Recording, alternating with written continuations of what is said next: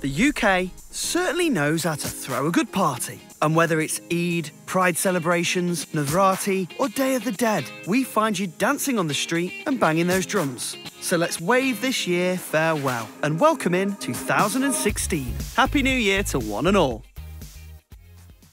Five, four, three, two, one, go!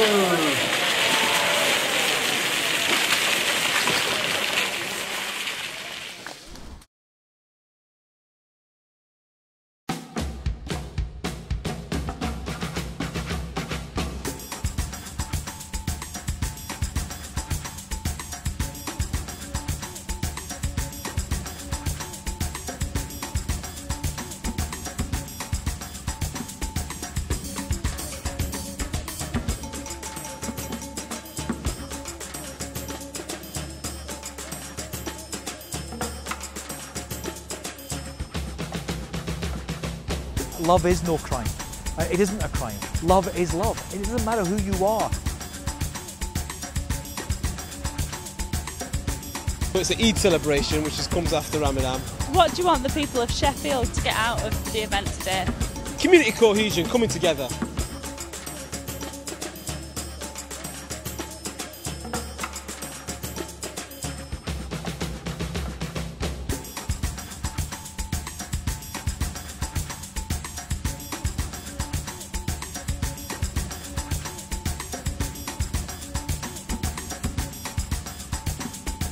Best night of the year as far as I'm concerned.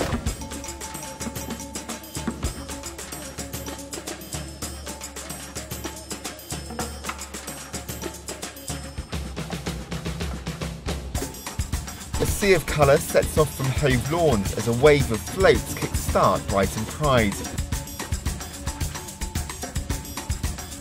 I think it's a great experience for everyone of every sex, gender, coming together, celebration. It's good fun.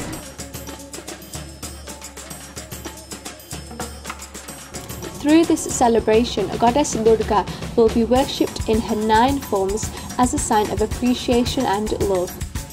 Navratra is a very special festival for all Hindus universally. It's a religious celebration of dance and music. We are celebrating the Day of the Dead in Sheffield today. It's about um, remembering the people that pass away.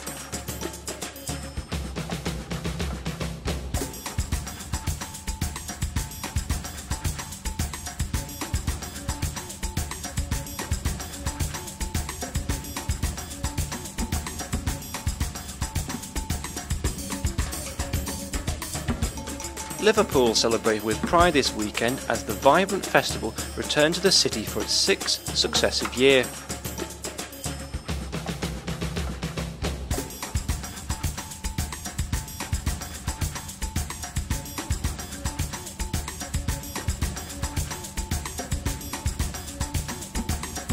Our bonfires are our culture. And that's what we celebrate every year. And we love it.